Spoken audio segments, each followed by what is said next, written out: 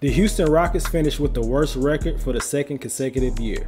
While there were plenty of lows during the season, there were some things to feel good about with this young team.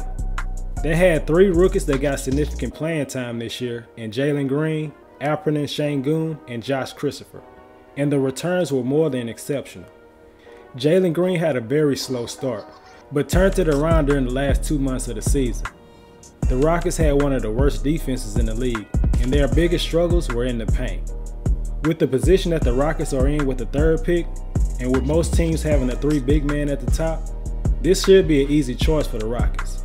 Just pick the big man that is left on the board. With the third pick in the draft, the Houston Rockets select Paolo Banchero from Duke University. Banchero is a modern day NBA player with size and skill set to score from all over the court. Physically and mentally, he's ready to compete right now in the NBA. He has great mobility and is very well coordinated, has good handles for his size, and has a nice mid-range game with a smooth release. He can get defenders off balance with his quickness, jab step, and brute strength, and he can finish around them with finesse. Banchero thrives playing through contact and overpower smaller defenders. While defense is not one of his strengths at the moment, he does have all the tools needed to be at least solid on that end. His physical attributes are elite, and he has an excellent feel for the game. He was able to lead the Blue Devils to the Elite Eight against some great defenses. Paolo showed his full repertoire with some tremendous drives, passes, and shots from all over the court. When the team needed him to get aggressive down the stretch, he showed up. He was in attack mode and made key plays for his team. Some would say he looked like the number one pick in the draft. With the 17th pick, the Houston Rockets select Ousmane Dieng from the New Zealand Breakers. This young stud stands at around 6'9 with a 7 foot wingspan, fluidity, and plays with an excellent feel for the game.